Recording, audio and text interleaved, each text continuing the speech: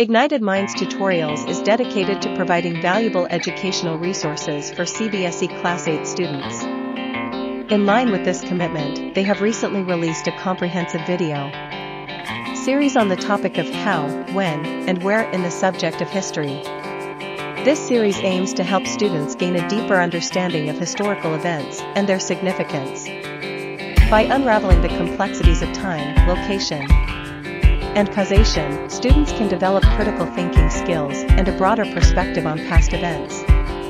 The videos carefully explain the concept of how historical events unfolded, shedding light on the causes and motivations behind them. They also explore the intricacies of when, offering insights into the chronology of events and their impact on society. Moreover, the videos delve into the relevance of where, analyzing the geographical context and its influence on historical developments. By incorporating engaging visuals, relatable examples, and simplified explanations, the video series effectively supports students in grasping complex historical concepts. The content is aligned with the CBSE curriculum and designed to meet the needs of Class 8 students. Ignited Minds Tutorials' commitment to quality education is evident in their efforts to provide comprehensive resources that promote knowledge and understanding. Through this series, they aim to inspire students to explore the depths of history, fostering a lifelong passion for learning.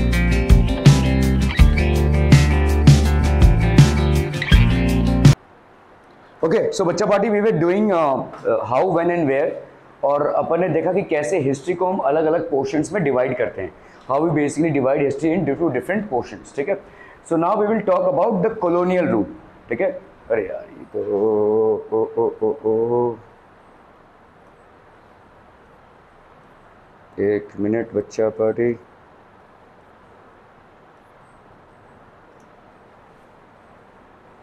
Okay so what is colonial colonial मतलब होता क्या है? Colonial मतलब देखिए, आपके जो British colonies थी imperialistic nations थे, ठीक है? उस टाइम पे फ्रांस और जो ब्रिटेन था ग्रेट ब्रिटेन ठीक है? France and Great Britain were imperialistic nations और भी बहुत सारे थे पोर्तुगल भी था, ठीक है? Portugal Dutch all these were basically imperialistic nations तो ये क्या करते थे? छोटे छोटे या मतलब यू नो कमज़ोर नेशंस पे अपना दबदबा जमाते थे। वहाँ पे जाके कैप्चर करते थे and they used to basically rule ठीक है? दे यूज़ टू रूल तो अभी ये व्हाट इज़ कॉलोनियल मतलब क्या है कि कैसे कॉलोनियल हिस्ट्री हमको डिफाइन करती है। मतलब कैसे जब ब्रिटिशर्स आए तो हमारा हिस्ट्री कैसे कॉलोनियल इम्पैक्ट में आया, ठीक है? In this book you will read about the way the British came to conquer the country तो किस तरह से ब्रिटिशर्स आए और उन्होंने हमारे कंट्री पर पूरा पूरा कब्जा कर लिया। How the British came captured and they ruled over the entire country of India ठीक है? Establish their rule subjugating local nawabs and rajas ये बड़े चालाक थे ब्रिटिशर्स, ये कभी भी राजा नहीं बनना चाहते थे। ठीक है हाँ तो पहले तो ट्रेड करने के लिए आए और इन्होंने क्या किया कि देखा कि ये लोग बड़े वीक है, आपस में बटे हुए हैं, ठीक है? They do not have unity to fight against us and then they sealed this opportunity they utilize this opportunity so what they did was they जो भी इनके राजा या नवाब थे उस टाइम पे, उनको वही रहने दिया। उनको बोला कि हम तुम्हारे बाउंड्रीज को प्रोटेक्ट करेंगे, हमको रेवेन्यू दो। समझ में आ रही है? ठीक है? तो समझ लो, ये कोई राजा या नवाब है। ब्रिटिशर्स आए, इनके साथ ट्रेड किया और बोला कि हमारी आर्मी बहुत स्ट्रांग है और वाकई में स्ट्रांग थी और तुमको काफ़ी लोगों से खतरा है। तो अब उन क्या करेंगे? हमारा आर्मी तुमको डिप्लॉय कर देंगे। आर्मी का खर्चा तुम्हें उठाना है और तुम्हारे जो राज्य का रेवेन्यू होता है, वो हमारे साथ शेयर करना पड़ेगा। ठीक है? So that's what they did और धीरे धीरे धीरे धीरे ऐसे पूरे इंडिया में वो फैल गए। ठीक है? So subjugating the local nawabs how they establish control over the economy and society धीरे धीरे वो पूरे इकोनॉमी और सोसाइटी पे कंट्रोल लाने लगे। देखिए हिस्ट्री हमने जैसे देखा कि it is just not study of events और dates its a study of everything को related to the society societal structure कैसा था? लोगों का धंधा पानी क्या था? What was their main occupation कैसे सब कुछ चलता था? एवरीथिंग ठीक है? तो जैसे ही ब्रिटिशर्स आए हमारा इंडियन सोसाइटी इम्पैक्ट हुआ, ठीक है? So how they establish control over the economy and society किस तरह से इकोनॉमी और सोसाइटी पे इनका कंट्रोल हुआ? That also comes under the study of history ठीक है? Collected revenue to meet all their expenses so गरीब लोगों से ये रेवेन्यू कलेक्ट करते थे। और इनसे इनका खर्चा चलता था ब्रिटिशर्स का, ठीक है? They use to collect the revenue and meet all their expenses bought the goods they wanted at low prices तो जो भी इनको, देखिए कॉटन इनका मेन था। ठीक है? कॉटन जो, देखो, समझो, जैसे कोई फार्मर है ए ठीक है? ये भाई साहब राइस या वीट उगाते ठीक है? इनको ब्रिटिशर्स ने क्या बोला कि भाई साहब, हम तुम्हारा टैक्स माफ़ कर देंगे या कम टैक्स लगाएँगे, तुम अभी राइस या वीट की जगह पे कॉटन उगाओ। तो फार्मर्स लोग भाई साहब कॉटन उगाने लगे। लेकिन इससे क्या हुआ, पूरे मार्केट में राइस और वीट की कमी हो गई। फ़ूड प्राइसेस बहुत ज़्यादा बढ़ गए, क्योंकि कमी हो गई चीज़ों की, ठीक है?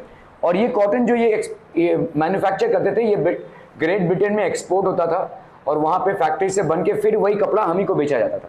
ठीक है? सो ब्रिटिशर्स लोग दो तरफा फ़ायदे पे थे। एक तो फार्मर्स से ज़बरदस्ती का कॉटन उगवा कर लो प्राइस में ग्रेट ब्रिटेन तक पहुंचाना, फिर मैन्युफैक्चर्ड गुड्स को फिर इंडिया में ही सेल करना। So they were basically in double profits ठीक है? Okay so bought goods that low prices produce crops they needed for export जो भी इनको क्रॉप्स चाहिए था एक्सपोर्ट के लिए वही क्रॉप्स को ये प्रोड्यूस करवाते थे, ठीक है? So whatever crops were required whatever crops were required और met the requirements for export only those crops were grow सिर्फ़ उन्हीं क्रॉप्स को ग्रो किया जाता था, ठीक है? The changes that came about as a consequence ठीक है? ये भाई साहब, एक कॉन्सिक्वेंस ठीक है? इंडस्ट्रियलाइजेशन हो गया, देखो। ग्रेट ब्रिटेन में क्या हुआ? धीरे धीरे इंडस्ट्रीज़ सेटअप होने लगी। ग्रेट ब्रिटेन में बहुत सारी इंडस्ट्रीज़ सेटअप होने लगी। सो so, यहाँ पे होने लगा आपका रैपिड इंडस्ट्रियलाइजेशन ठीक है? So there was rapid industrialisation in Great Britain ठीक है? You will read about the changes British rule bought about in values and taste हमारे वैल्यूज़ और टेस्ट चेंज होने लगे customs and prices practices change होने लगे। So there was a lot of change in the values and taste and there was a lot of change in the customs and practices ठीक है? For example sati was banned in India तो William Bentinck तो सती प्रथा आपको मालूम है क्या था? ठीक है? So whenever the husband used to die the lady और द वुमेन और the widow used to burn herself at the funeral pyre of her husband ये कभी कभी ऑटोमेटिक प्रोसेस होता होता और कभी कभी ज़बरदस्ती हुआ करता था। ठीक है? So for example sati was banned in India ठीक है? विलियम बेंडिक ने इसको बैन करवाया। तो लोगों को लगा कि जो ब्रिटिशर्स हैं, वो हमारे रिलीजन में इंटरफेयर कर रहे हैं।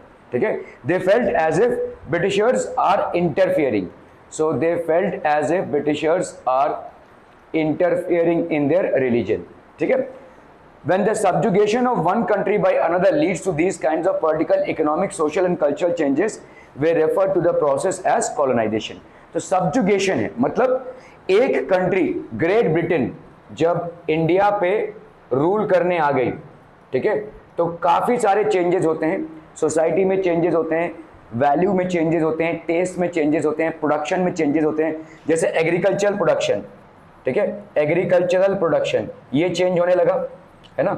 एग्रीकल्चरल प्रोडक्शन पहले होता था भाई साहब राइस वीट वगैरह, अभी कॉटन जो ब्रिटिशर्स को ज़रूरत है वो प्रोड्यूस होने लगा, ठीक है? ओके ये चेंज होने लगा there was a change here okay what else आपके वैल्यूज़ वैल्यूज़ एंड टेस्ट में चेंज होने लगे, ठीक है? क्योंकि ब्रिटिशर्स आपका जो कपड़ा था वो वहाँ पे बनाकर इंडिया में ही वापस बेचते थे। तो वैल्यूज़ और टेस्ट में चेंज होने लगा। वॉट एल्स हमारे जो कस्टम्स थे कस्टम्स चेंज होने लगे। क्यों? क्योंकि ब्रिटिशर्स ने पाबंदी लगाई थी बहुत सारे कस्टम्स पे। जैसे सती को बैन करवा दिया, ठीक है? बहुत सारे रिलीजियस कस्टम्स और प्रैक्टिसेस पे आपके बैन्स लगने लगे, ठीक है? तो ये सारे चेंजेस हो रहे हैं। क्यों हो रहे हैं? क्योंकि ग्रेट ब्रिटेन इंडिया में आ गया है। ग्रेट ब्रिटेन के लोग इंडिया में रूल करने आ गए हैं। So this is known as colonisation when the subjugation इसको नोट कर लीजिए, आप लोग बिल्कुल भी नोट नहीं कर रहे हैं। When the subjugation of one country by another leads to these kind of political economic social and cultural changes तो सब्जुगेशन हो रहा है। सब्जुगेशन मतलब डोमिनेंस हो रहा है, ठीक है? When the subjugation of one country by another leads to these kind of अपना करो ना भाई साहब these kind of political economic social and cultural changes we refer to this process as colonisation तो ये आपका कॉलोनाइजेशन का प्रोसेस है, ठीक है? इसको प्लीज़ नोट कर लीजिए।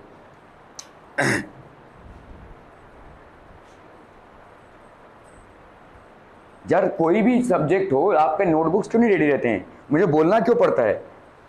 स्कूल में नोटबुक्स रेडी रहते होंगे ना, हर क्लास में? हम्म?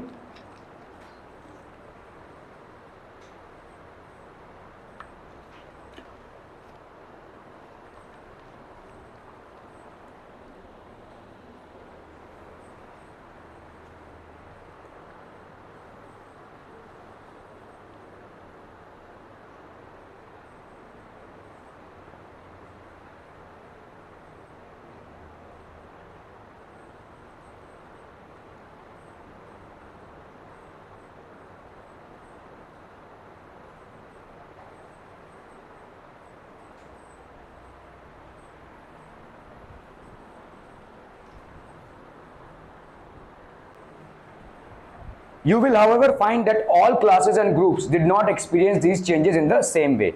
That is why there is a book called Our Past in the Plural. ठीक है? तो जित जितने भी आपके चेंजेस हो रहे थे सब सेम वे से एक्सपीरियंस नहीं कर रहे थे। देखिए हमारे इंडिया में बहुत सारे क्लासेस थे। जैसे आपके नवाब्स एक क्लासेस हैं ठीक है? रूलर्स एक हैं फिर फार्मर्स हैं पीजेंट्स हैं ये सब अलग अलग लोग हैं। और अलग अलग लोगों पे इन चेंजेस का अलग अलग इम्पैक्ट हुआ ठीक है? That is why the book is called our past in the plural ठीक है so how do we know? What sources do historians use in writing about the last 250 years of Indian history? History के बारे में लिखने के लिए जो sources है, वो क्या क्या है, ठीक है? जैसे आप बोलोगे कि भाई साहब मैथ्स करना है, लेकिन कहाँ से करना है? मैथ्स की बुक से करना है, ठीक है? वो आपके स्कूल में जो बुक प्रिस्क्राइब है, उससे करना है। तब आप जाकर प्रैक्टिस करके उसको समझ पाएँगे। तो हिस्ट्री के बारे में भी लिखने के लिए आपके सोर्सेज कहाँ से हैं, ठीक है?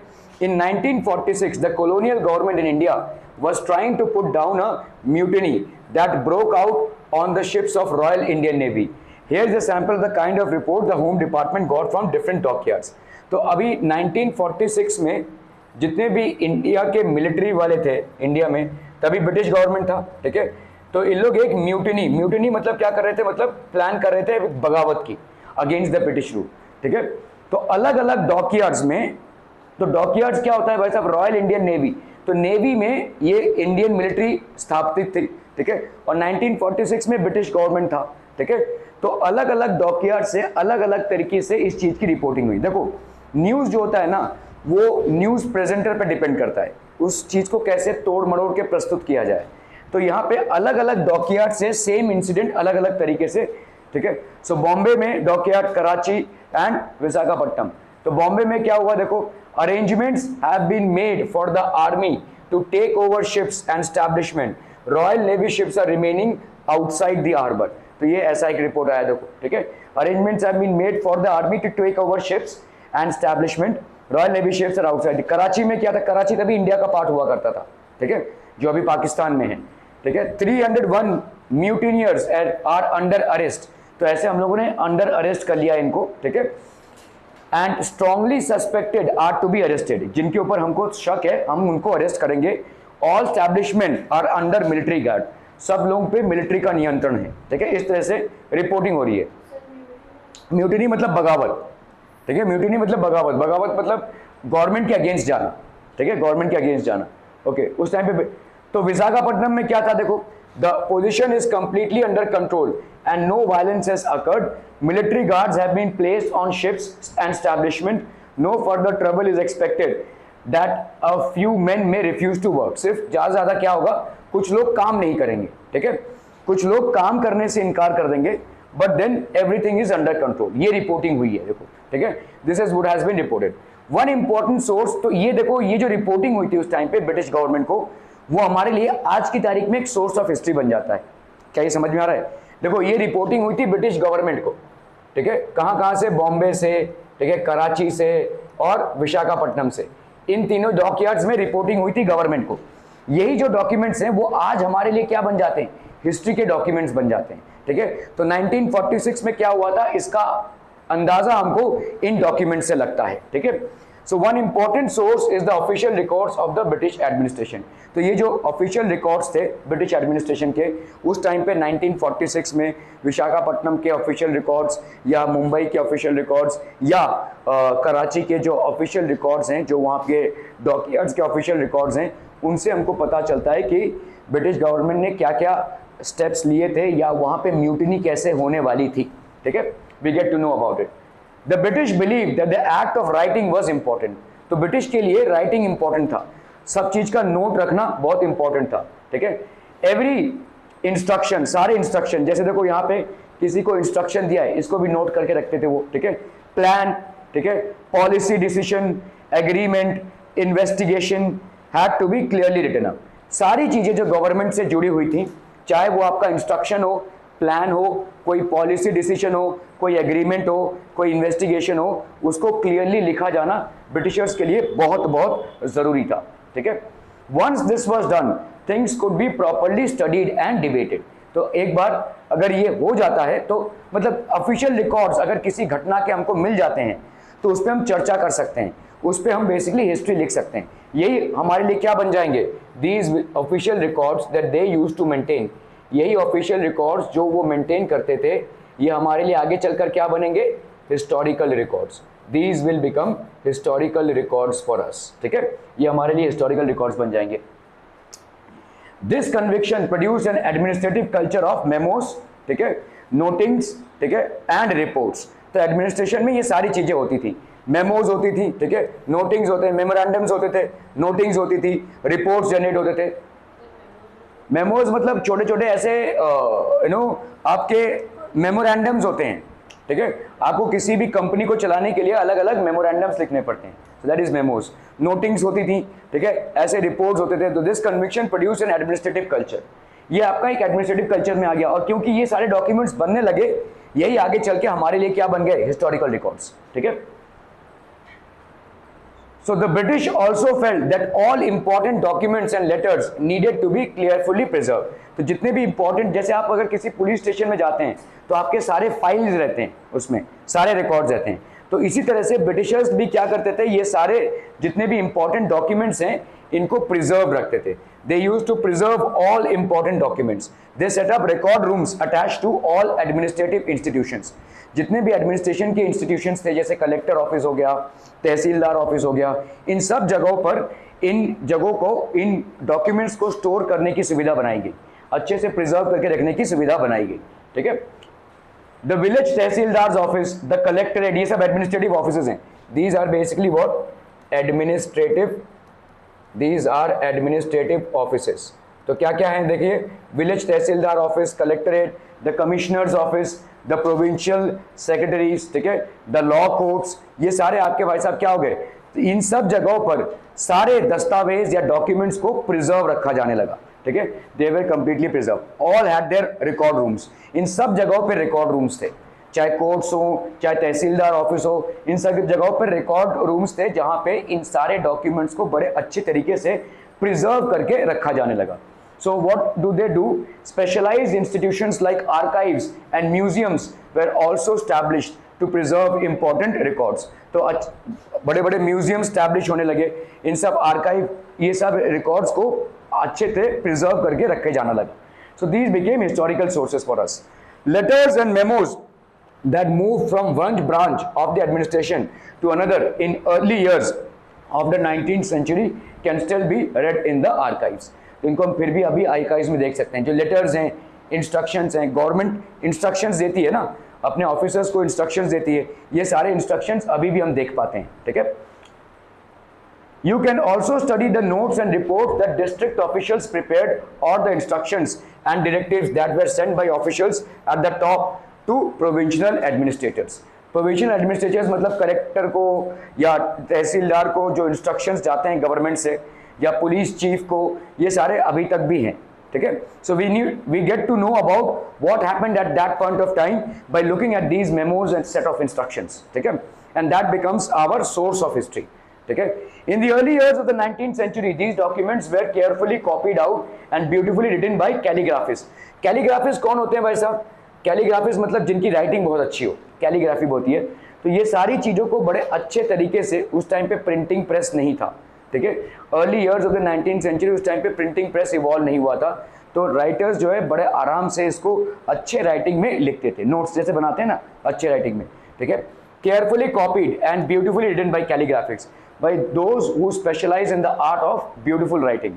By the middle of the 19th century, with the spread of printing, multiple copies of these records were printed as proceedings of the government department. जैसे जैसे भाई साहब प्रिंटिंग कल्चर आ गया by the middle of the nineteen century ठीक है? फिर इनके बहुत सारे मल्टीपल कॉपीज बनने लगे और ऐसे बुक्स बनने लगे ऐसे फाइल्स बनने लगे जिन पे इनको प्रिजर्व किए ठीक है रखना लगा ठीक है? तो हमको जो नॉलेज मिल रहा है हिस्ट्री का वो कहाँ से आ रहा है? That is something that we are trying to find out the practice of surveying also became common under the colonial administration survey करना, ये कॉलोनियल एडमिनिस्ट्रेशन का एक मुख्यता विभाग था, ठीक है? तो जैसे हम बोलते हैं ना आपको कैसा लगा ये आइसक्रीम खा के? एक्सीलेंट गुड एवरेज ठीक है? फेयर ऐसा जो फीडबैक लेते हैं तो ये कल्चर जो है ब्रिटिशर्स लोगों ने लाया यहाँ पे, ठीक है?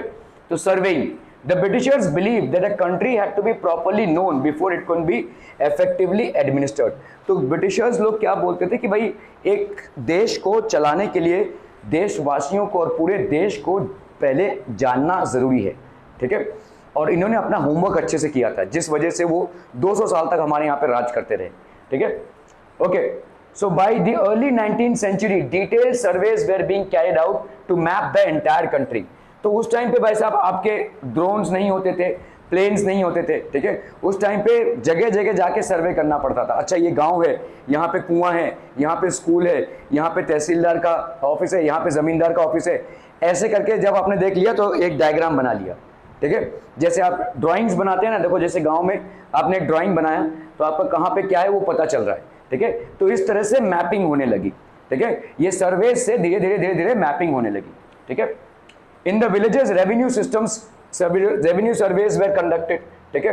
द टोपोग्राफी टोपोग्राफी मतलब क्या होता है? लैंड का फॉर्म क्या है? ठीक है? टोपोग्राफी द सॉइल क्वालिटी क्या सॉइल का क्वालिटी है? ठीक है? ये सब सर्वेज हैं, ठीक है?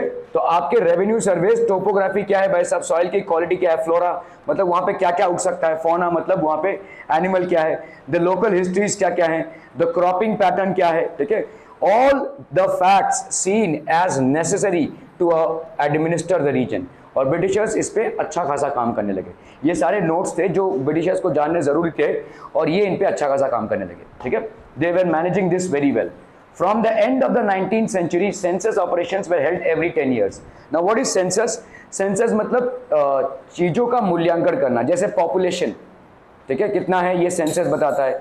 कितने डिज़ीज़ से कितने लोग मारे गए? ये एक सेंसस है। सेंसस मतलब काउंटिंग होती है। नेशनल लेवल पे जो काउंटिंग होती है। ठीक है? Okay These prepared detailed records of the number of people in all the provinces of India, noting information about their caste, religion, ठीक है ये सबसे एक सेंसस बनने लगा। ठीक है प्रॉपर रिकॉर्ड्स बनने लगे। एंड ऑक्यूपेशन कास्ट रिलीजन और ऑक्यूपेशन के हिसाब से एक सेंसस बनने लगा। There were many other surveys botanical surveys हुए भाई साहब। ठीक है botanical surveys zoological surveys archaeological surveys anthropological surveys या अलग अलग एंथ्रोपोलॉजिकल मतलब बोन के शेप डेंसिटी कैसे हैं? अलग अलग लोगों के बॉडी के स्ट्रक्चर्स अलग अलग होते हैं। जैसे गोरखा लोग अलग होते हैं, पंजाबी लोग अलग होते हैं तो इसको बोलते हैं हम अपन एंथ्रोपोलॉजिकल सर्वेस आर्कियोलॉजिकल सर्वेस मतलब हिस्टोरिकल सर्वेस ठीक है जूलॉजिकल सर्वेस मतलब एनिमल रिलेटेड सर्वेस और बोटानिकल सर्वेस मतलब प्लांट रिलेटेड सर्वेस ये सारे सर्वेस होने लगे, बहुत एक्सटेंसिवली फॉरेस्ट सर्वेज होने लगे। कौन से फॉरेस्ट में क्या पाया जाता है? किस तरह का फ्लोरा या फौना या क्लाइमेट है? ठीक है, इस तरीके के सर्वेज होने लगे। Okay so what official record do not tell from this vast corpus of record we can get to know a lot but we must remember that these are official record official record मतलब एक तरफा record होते हैं। जिन, ऐसे record जिनसे सिर्फ़ Britishers को फ़ायदा है। ठीक है? हमको नहीं। एज इंडियंस तो उन्होंने सारे रिकॉर्ड्स इकट्ठा किए थे अपने राज्य को और सुनियोजित तरीके से चलाने के लिए। इफ़ेक्टिव एडमिनिस्ट्रेशन के लिए दे हैड डन दिस ठीक है? So it's not going to benefit us ठीक है?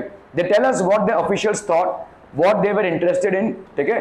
And what they wish to preserve for posterity तो ये क्या बता रहे हैं? तुम्हारा बिल्कुल भी मन नहीं आ रहा। इधर I tell you to note down everything तो note down everything now note down everything that comes here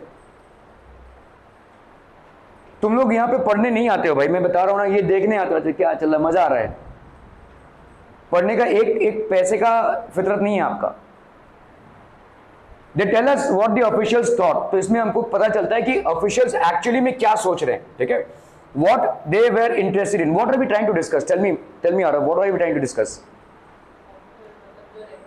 हाँ तो क्या, उससे क्या क्या? हाँ लेकिन इससे क्या होगा?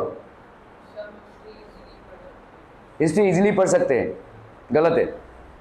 ऑफिशियल रिकॉर्ड्स जो बता रहे हैं, वो सिर्फ़ ब्रिटिशर्स के परस्पेक्टिव से बता रहे हैं।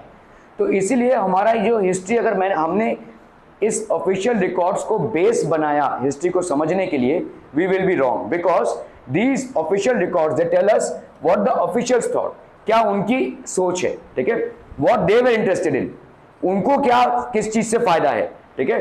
What they wish to preserve for personality मतलब किस चीज़ का प्रिजर्वेशन वो करें, किस चीज़ को वो प्रिजर्व रखें उनके फ़ायदे के लिए, ठीक है? सो हालाँकि ये ऑफिशियल रिकॉर्ड्स हैं और कुछ हद तक हमको हिस्ट्री में मदद करते हैं, लेकिन अगर हम सिर्फ़ इनको ही मानकर चलें तो गलत होंगे, ठीक है? So these records do not always help they do not always help us understand what other people in the country felt and what lay behind their actions. So, बाकी के दूसरे लोग क्या सोच रहे हैं या क्यों कुछ काम कर रहे हैं ये हमको ज़्यादा ये रिकॉर्ड्स मदद नहीं करते थे टू अंडरस्टैंड ठीक है? For that we need to look elsewhere इसीलिए हमको कहीं और देखना पड़ेगा। When we begin to search for these other sources we find them in plenty though they were more difficult to get than official records ठीक है? हमको और भी बहुत सारी चीज़ें मिली। We have diaries of people जो कॉमन लोग हैं, उनके डायरीज मिले हैं हमें। उन्होंने उस टाइम पे क्या नोट किया है, ठीक है? Accounts of pilgrims and travellers उस टाइम पे जो लोग भाई साहब ट्रैवल करते थे, वो जो लिखते थे उसके, जैसे फाहिम वॉज़ अ ट्रैवलर बहुत पहले के, ठीक है? ऑटोबायोग्राफीज ऑफ़ इंपॉर्टेंट पर्सनैलिटी जैसे गांधी जी ने ऑटोबायोग्राफी लिखी है तो उस टाइम के समाज का सोच क्या था? उस टाइम के समाज के लोग कैसे थे? क्या सोचते थे या कैसे रहते थे? ठीक है, इससे हमको पता चलता है। Popular booklets that were sold in local bazaars ठीक है? तो ये पॉपुलर बुकलेट्स थे। इनसे से भी हमको बहुत कुछ पता चलता है। तो ऑफिशियल रिकॉर्ड्स को ही अगर हम हिस्ट्री का मेन सोर्स मानेंगे तो हमारी पढ़ाई गलत हो जाएगी, ठीक है? So we have to consider every source which is available to give us a glimpse of what happened at that point of time as printing spread newspapers were published and issues were debated in public तो जैसे जैसे printing चालू हुआ newspapers publish होने लगे and all these things were debated in public leaders and reformers wrote to spread their ideas poets and novelist wrote to express their feelings तो जितने भी लीडर्स थे और रिफॉर्मर्स थे, जैसे गांधी हो गए, जवाहरलाल नेहरू हो गए, इन्होंने लिखा क्यों अपने आइडियाज़ को स्प्रेड करने के लिए? और उस टाइम पे जो कवि लोग होते थे poets and novelist they wrote to express their feelings उन्होंने पोएम्स लिखे नॉवेल्स लिखे they did that to express their feelings newspapers provide accounts of the movements in different parts of the country. Here is a report of a police strike in 1946 तो जैसे देखो यहाँ पे एक newspaper cutting है, जिसमें क्या बोला जा रहा है? More than 2000 policemen in Delhi refused to take their food on Thursday morning as a protest against their low salaries and the bad quality of food supplied to them from the police lines kitchen. ये news appear हुआ है 1946 में ठीक है एक paper में तो हमको दिख रहा है कि उस टाइम पे पुलिस जो था गवर्नमेंट को सपोर्ट कर रहा था लेकिन पुलिस को गवर्नमेंट सपोर्ट नहीं कर रही थी ठीक है so that was a bad condition of policemen as the news spread to the other police station the men there also refuse to take food उन लोगों ने वैसा खाना खाने से इनकार कर दिया।